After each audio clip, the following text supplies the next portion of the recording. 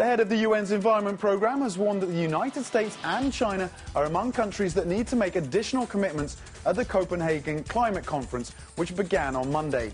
Achim Steiner said that if they didn't, momentum to agree a new deal to curb climate change could falter.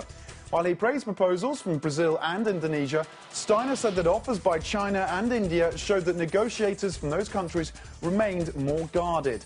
And commenting on the United States and China, he said he thought the numbers put forward by some countries were the bottom end of what they could offer, rather than the ceiling.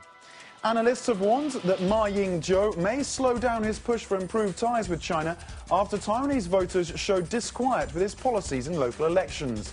17 counties and cities were contested in Saturday's poll, and Ma's Kuomintang party lost control of two, while the pro-independence opposition DPP gained one. The KMT won 12 of the 17 available counter seats, but its overall share of the vote slipped significantly, with the DPP winning an additional 7% of the vote compared with four years ago. Ma's poor showing comes just weeks before China and Taiwan are due to hold a fourth round of talks aimed at deepening economic integration across the Taiwan Strait.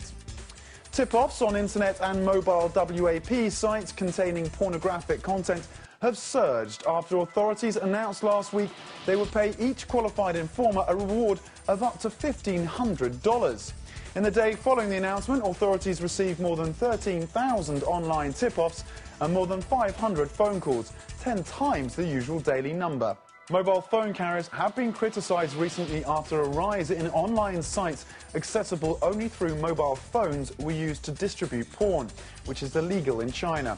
Similar material on the internet is filtered, but authorities have been stung by this newly discovered loophole.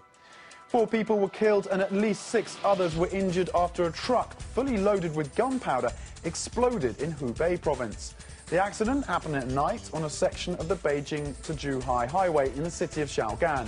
The truck was heading for Hebei province in the north of China, carrying five tons of gunpowder to a fireworks manufacturing factory ahead of next year's Spring Festival.